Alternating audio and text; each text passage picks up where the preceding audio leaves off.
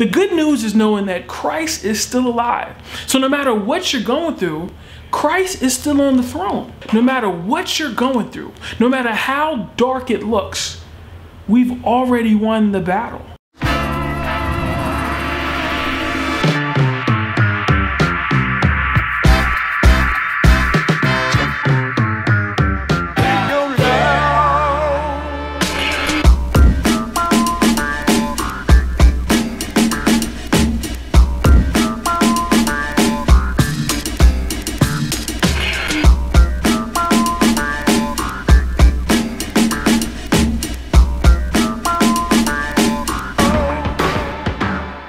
To encourage you today.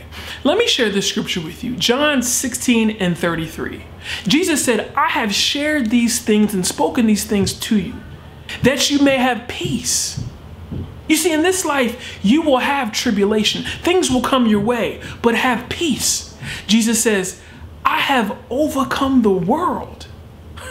so be of, be of good cheer. That is such good news. So that no matter what comes your way, be of good cheer. Have courage. Have peace. Why? Why have peace? My rent is due. I'm sick in my body. My marriage is falling apart. My children hate me. My boss is going to fire me. They're laying people off. No matter what happens in this life, be of good cheer because Jesus has overcome the world. So thank you for tuning in. Today we're going to go down to downtown LA. It's so exciting when you're walking with Christ. My good friend, um, Praying Medic, he has this quote he said one time online. He said, if you think that walking with God is boring, you're probably not walking with God. Everywhere we go, we see miracles. We see things happen. We see people get healed. We see lives change wherever we go. This is the normal Christian experience. So come follow me. We're going to downtown today. See you there.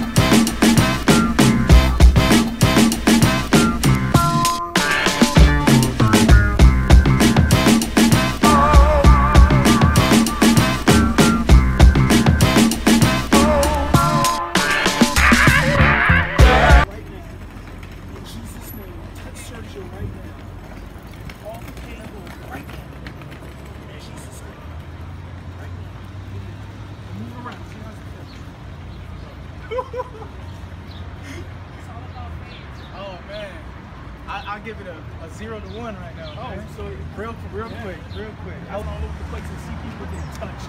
We've seen tumors disappear. We've seen amazing things happen, and the reason why that happens is Jesus loves me. Yes. And He manifests that love by healing people. That's amazing, isn't it? It's it sure is, bro. It sure is.